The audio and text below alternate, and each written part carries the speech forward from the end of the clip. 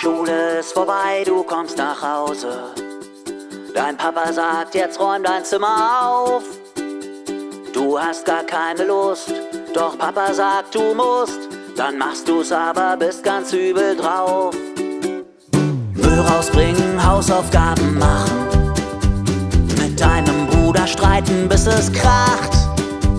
Der Tag fing schon doof an und dauert viel zu lang. Doch ich kann dir zeigen, wie man noch das Beste daraus macht. Hier stehe ich und spucke in die Spree.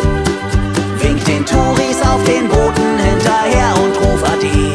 So viel zu tun, doch ich hab ne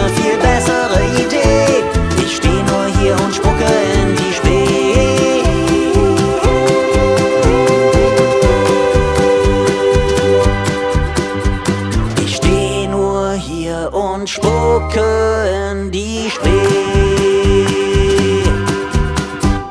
Ich könnte jetzt auch Dringendes erledigen. Die Fenster putzen oder Englisch lernen. Ich könnte Lego bauen oder in die Röhre schauen oder Popel von der Bettkante entfernen. Ich könnte auch in ferne Länder reisen.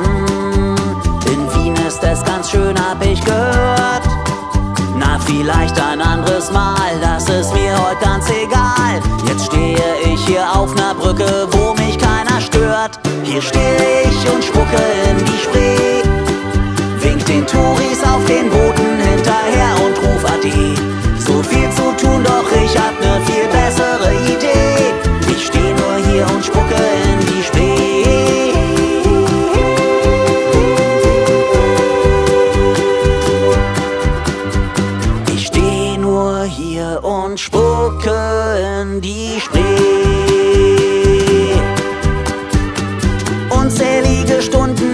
Aus hier. Häng übers Geländer und es tropft. Die Spree fließt träge wie ein Faultier. Und manchmal treff ich aus Versehen, ja wirklich aus Versehen, nur aus Versehen Turi auf den Kopf. Hier stehe ich und spucke in die Spree. Mach doch mit, dann gründen wir ein Aule-Komitee.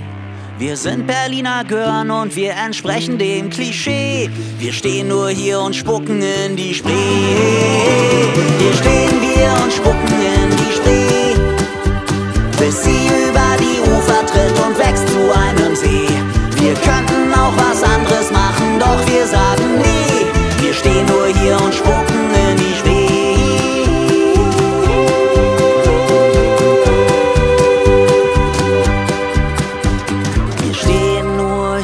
und spucken in die Spree.